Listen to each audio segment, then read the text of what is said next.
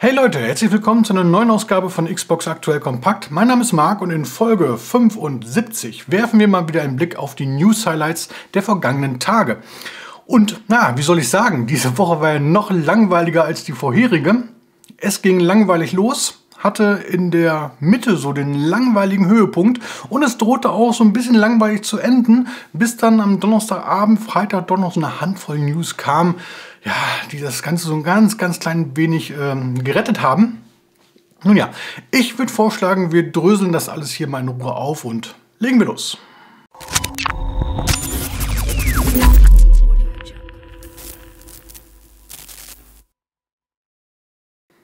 Ja, fangen wir doch mal mit der interessantesten News vom Montag an. Und das lässt schon tief blicken, was diese Woche angeht, denn es war nur ein Gerücht und dazu noch eins, was nicht mal uns Xbox-Spieler betroffen hat. Es geht um Indiana Jones. Action Adventure wurde Anfang letzten Jahres äh, angekündigt von Bethesda und Entwickler Machine Games. Beide gehören zu Microsoft und deswegen haben auch viele erwartet, dass der Titel exklusiv für die Xbox erscheinen wird. Nun hat sich ein Brancheninsider zu Wort gemeldet und gesagt, das wird nicht der Fall sein. Indiana Jones äh, ist auf dem Weg zu einem Multiplattform-Titel. Xbox-Chef Phil Spencer hatte ja vor einiger Zeit schon mal gesagt, dass man diese Exklusivität von Titel zu Titel prüfen wird und äh, auch was jetzt künftige Activision-Spiele angehen wird. Call of Duty ist da ja auch so ein Kandidat, wird auch für PlayStation und andere Systeme erscheinen. Und anscheinend wird diesen Weg auch Indiana Jones geben. Es ist die Frage, ob das jetzt eine Entscheidung wirklich von Microsoft war oder eher doch eine Vorgabe vom Lizenzgeber Disney Lucasfilm. Könnte mir durchaus vorstellen, dass Disney daran interessiert ist, äh, dass das Spiel auf möglichst vielen Plattformen erscheint. Deswegen denke ich eher, das ist eine Vorgabe seitens Disney. Aber ich weiß es nicht. Äh, sowieso ist ja alles noch nicht offiziell, alles nur Gerüchte. Naja, ich bin erstmal gespannt, was aus dem Spiel überhaupt wird, denn seit Januar letzten Jahres gibt es ja null Informationen dazu, außer diesem kleinen Mini-Teaser-Trailer, der da veröffentlicht wurde. Ich hoffe mal, nächste Woche Sonntag Xbox Showcase, dass da endlich mal etwas Licht ins Dunkle gebracht wird.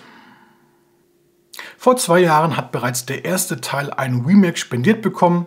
Jetzt ist bald Destroy All Humans 2 an der Reihe. Black Forest Games und THQ Nordic haben nun einerseits den Release-Termin verraten. Am 30. August ist es soweit. Dann können alle interessierten Spieler wieder in die Haut von Alien Crypto schlüpfen und da ordentlich auf Menschenjagd gehen.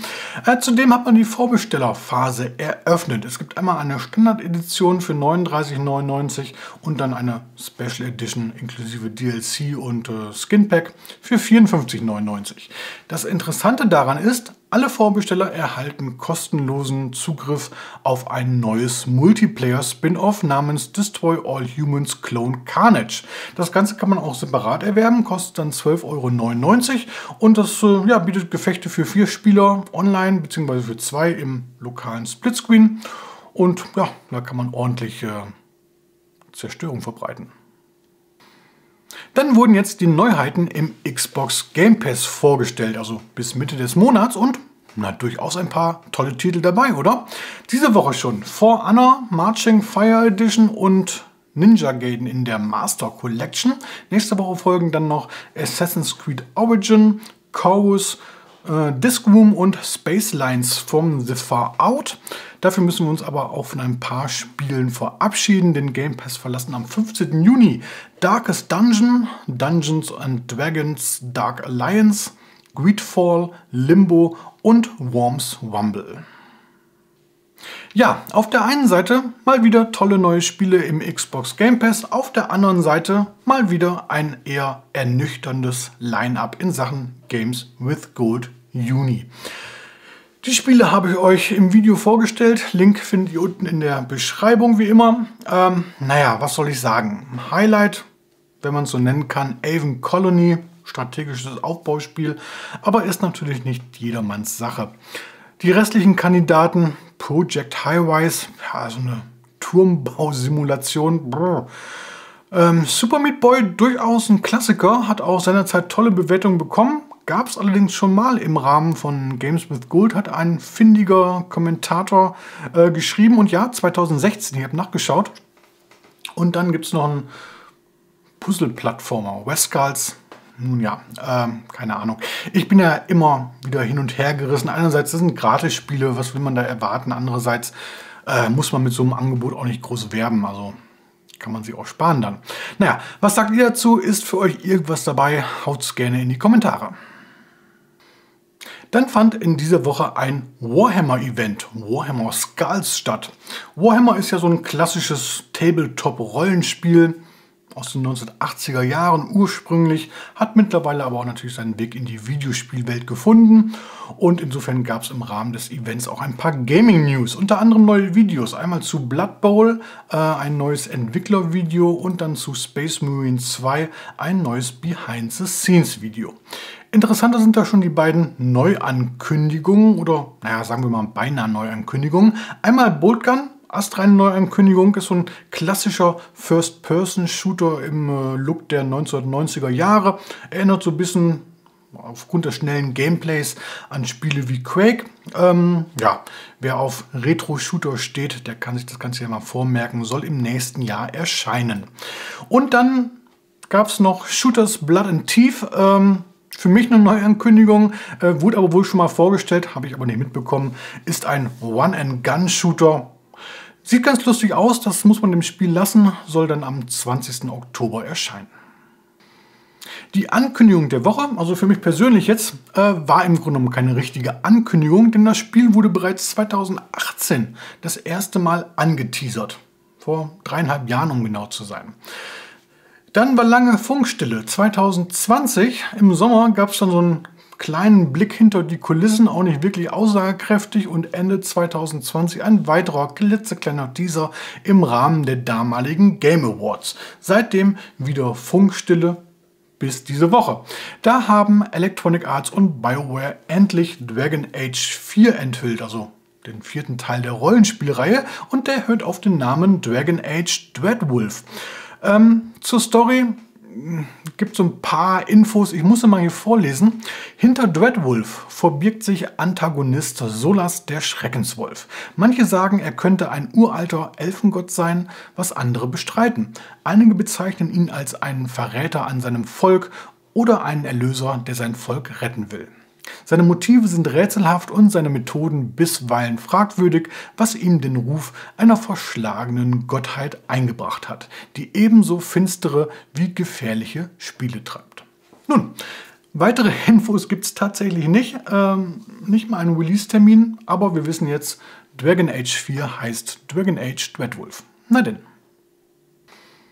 Ebenfalls bereits angekündigt seit 2020 ist The Callisto-Protokoll von Striking Distance und Crafton.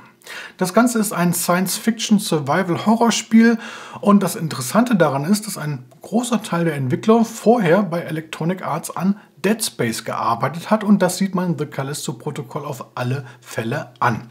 Ähm, jetzt hat man den Release-Termin verraten. 2. Dezember ist es soweit und zeitgleich auch einen neuen Trailer, einen Gameplay-Trailer veröffentlicht mit ersten Spielszenen. Und hey, das sieht wirklich fantastisch aus. Alle Achtung, wer nur irgendwas, so ein ganz klein bisschen mit Dead Space anfangen kann, der sollte sich The Callisto-Protokoll auf alle Fälle vormerken. Äh, sieht sehr vielversprechend aus. Äh, wenn ihr den Trailer noch nicht gesehen haben solltet, unten in der Beschreibung gibt es den Link. In der Nacht von Donnerstag auf Freitag fand dann die State of Play von Sony statt und da hatte Capcom die Hauptrolle. Äh, unter anderem hat man auch ein neues Spiel angekündigt, was auch für die Xbox erscheinen wird. Resident Evil 4, also kein neues Spiel, das ist ein Remake. Ähm, wurde ja bei den ersten Teilen auch schon so gemacht. Jetzt ist also Resident Evil 4 an der Reihe, bekommt eine optische Aufhübschung. Das Ganze soll dann am 24. März nächsten Jahres für die Xbox Series XS erscheinen, nicht mehr für die Xbox One. Äh, dann gibt es noch einen ungefähren Termin, sehr ungefähr, äh, für Street Fighter 6. Das Beat'em Up wurde ja bereits Anfang des Jahres angekündigt. Jetzt sagt man, nächstes Jahr soll es erscheinen. Auch hier wieder nur für Xbox Series X und S. Dann noch ein Nachtrag zu Call of Duty Modern Warfare 2. Hatten wir letzte Woche schon. Da wurde das Artwork enthüllt und da hatte man in dem dazugehörigen Video ja schon so ein Datum erkannt. 8. Juni. und jetzt ist es offiziell. Nächste Woche Mittwoch wollen Activision und Infinity Ward den Shooter offiziell vorstellen. Ähm, neu ist immerhin schon mal ein weiterer Trailer, in dem so ja, das Team in den Mittelpunkt gerückt wird.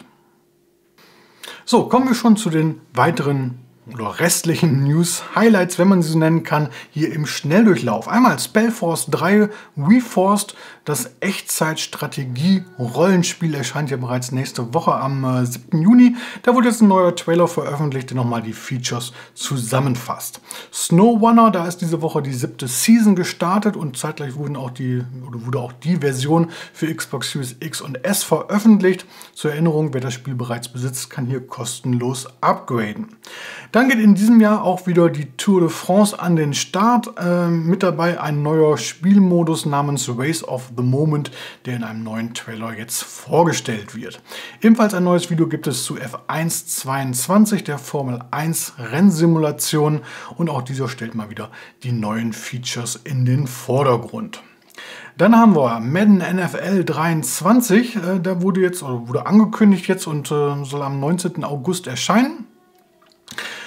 Zu Ehren des verstorbenen John Madden im Dezember letzten Jahres äh, hat man jetzt das Cover des, der, des allerersten Spiels der Reihe aus dem Jahr 1988 quasi nochmal neu wieder verwendet. Ähm, nette Aktion, tolle Sache für Fans, äh, sehr schön. Und äh, was haben wir sonst noch? Ja, Pro Gymnast Simulator hatten wir hier bereits vor einigen Wochen mal. Ähm, ich weiß immer noch nicht ganz genau, ob man den Titel ernst nehmen soll oder nicht. Ähm, aber wie gesagt, damals schon bei Steam hat der Titel Top-Bewertungen und irgendwie ja, so ein bisschen spaßig sieht es ja schon aus. Keine Ahnung, ob das was wird. Erscheint jedenfalls am 10. Juni, also auch schon nächste Woche. Kommen wir zum Spiel der Woche. Und nun ja, da hatte ich in der letzten Folge schon ein äußerst, äußerst schlechtes Gefühl, als ich mir die Release-Liste angeschaut habe. Nun ja, ähm, es ist tatsächlich kein Spiel dabei, was ich hier als äh, Spiel der Woche prämieren möchte. Aber wenn es kein Spiel der Woche gibt, dann vielleicht ein Anti-Spiel der Woche. Alte Tradition hatten wir ja schon mal. Und tatsächlich, ich bin direkt fündig geworden, denn es ist ein Titel erschienen, der ja, mich schon beim Zuschauen dermaßen frustriert, das gibt es gar nicht. Ähm, no Front gegen die Entwickler, gegen alle Fans des Genres. Das mag ein tolles Spiel sein, habt Spaß damit, aber ohne mich. Die Rede ist von 10. 10 Rooms, 10 Seconds.